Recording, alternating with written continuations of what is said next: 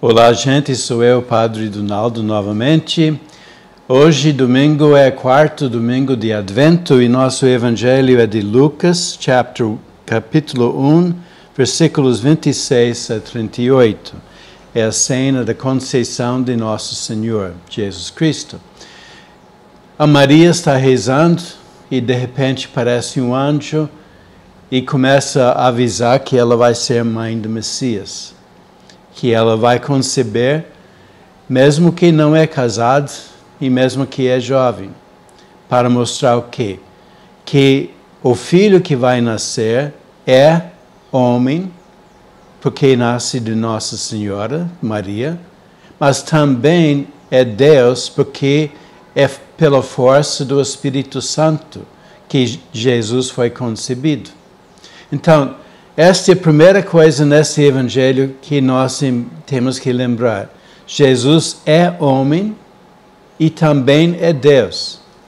E como São Paulo disse, a parte de Deus, as vantagens de ser Deus, ele não ficou com essa durante sua vida.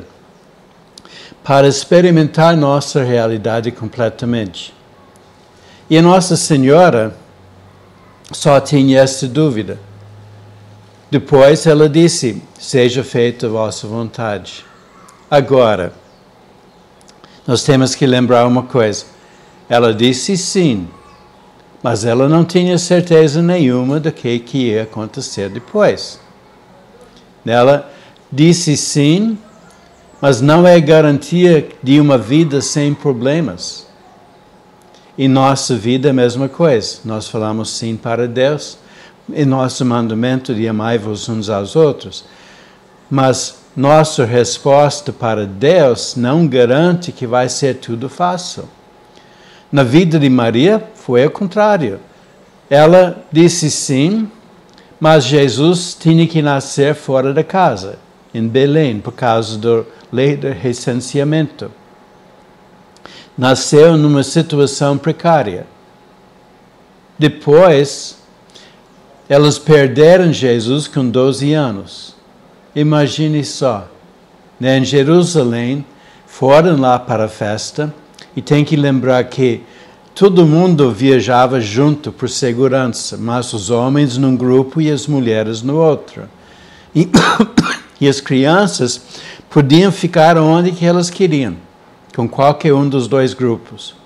Então saíram de Jerusalém para voltar para casa e só à noite, depois de um dia de caminhar, elas descobriram que Jesus não estava. Aí eles não iam voltar na mesma noite por causa do perigo. Né? Não tinha lâmpadas na rua, não tinha nada disso. Então eu esperava o dia.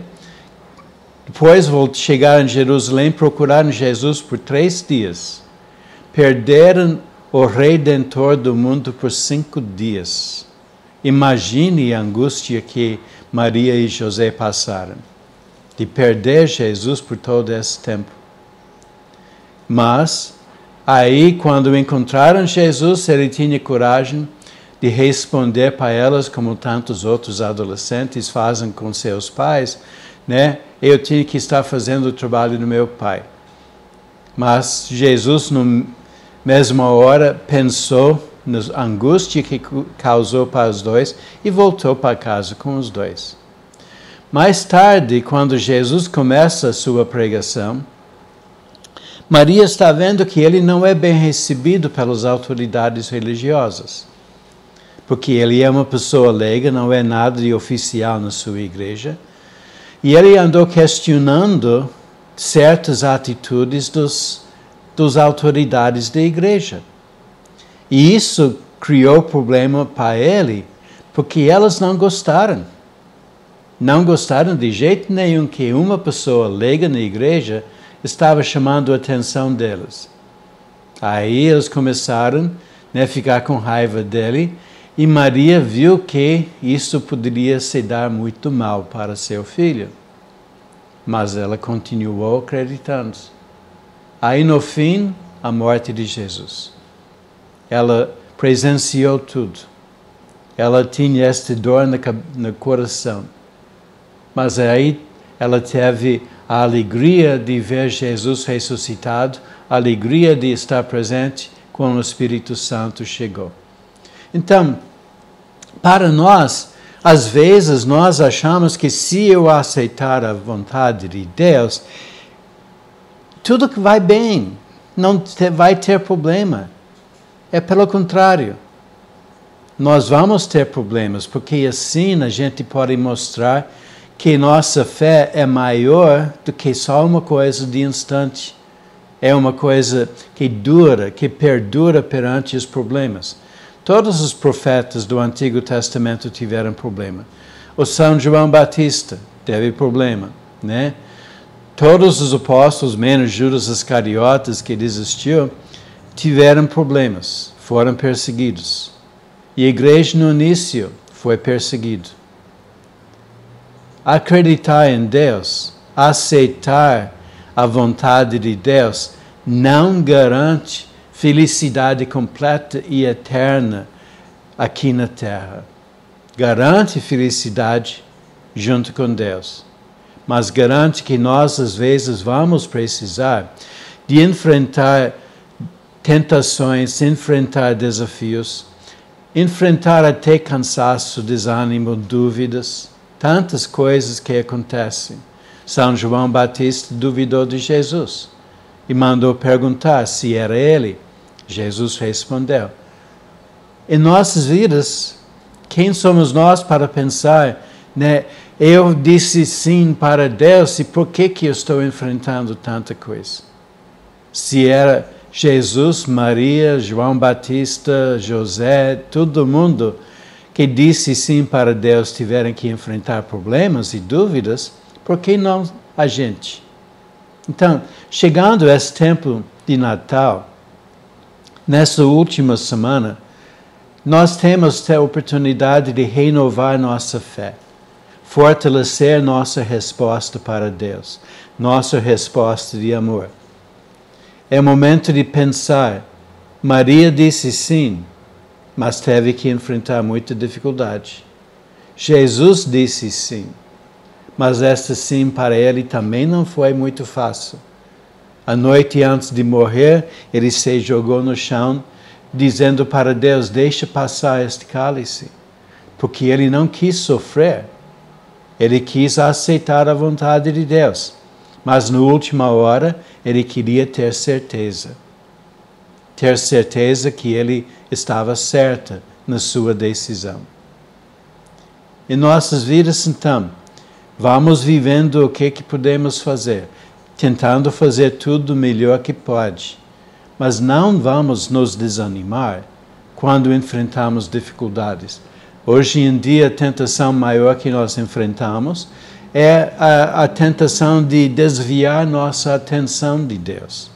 Que tem tanta coisa hoje computador, internet, carros, monte de coisa que chama nossa atenção, que pode nos desviar de nossa atenção para Deus. Isto que é a tentação que nós enfrentamos maior parte do tempo. Também temos dificuldades em termos de agora, por exemplo, Covid, doença, né? A vida não é certa e nós ficamos preocupados, né? O que que vai acontecer com a gente? Mas nós temos o exemplo de Maria, José, São João Batista, né, de ser fiel a Deus e no fim encontrar a alegria eterna. E o Espírito Santo, que Jesus oferece para nós, deu para nós no batismo, é o mesmo Espírito Santo que fortaleceu Jesus na sua decisão, o mesmo Espírito Santo que fortaleceu os apóstolos, o mesmo Espírito Santo que fez Pedro passar de ser alguém que nunca entendeu Jesus para ser o primeiro Papa, o primeiro indicado para formar e liderar a igreja no início. Nós recebemos esse Espírito Santo. Na hora de dúvida, dificuldade, podemos gritar para o Espírito Santo que está no nosso coração: O que, que faço agora? Me ajude, me ilumine, me dá a força que eu preciso para continuar fiel no caminho para Deus. Obrigado por sua atenção, gente. Até a próxima vez. Tchau.